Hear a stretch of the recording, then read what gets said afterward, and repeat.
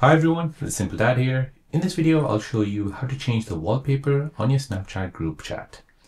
So if you have a group chat going on on Snapchat and you want to change the boring white wallpaper, then let me show you how to do this. So before you begin, you know, first go to your app store, search for Snapchat and make sure that's been updated to the latest version. Once updated, go ahead and open the app.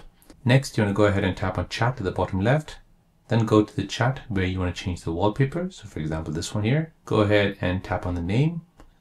Now on this menu, you'll see wallpaper. So once you change the wallpaper, everyone in the group will see that wallpaper. Go ahead and tap on this.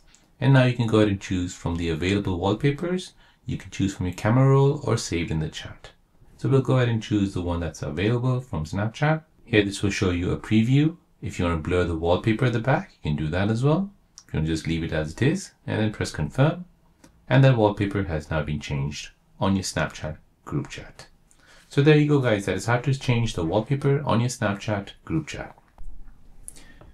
If you're new on the channel and you want to find out more about your iPhone, your Android phone or any other social media apps, then don't forget to subscribe to this channel to become a part of the Simple Dad community.